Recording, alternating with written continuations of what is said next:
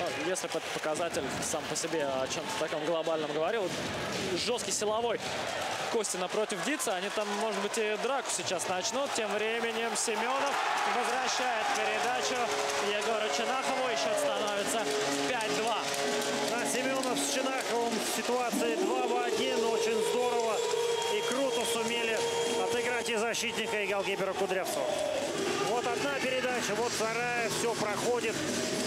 Здесь уже Вороны на позиции защитника играл, не сумел помочь своей команде. Да, заплели, закружили.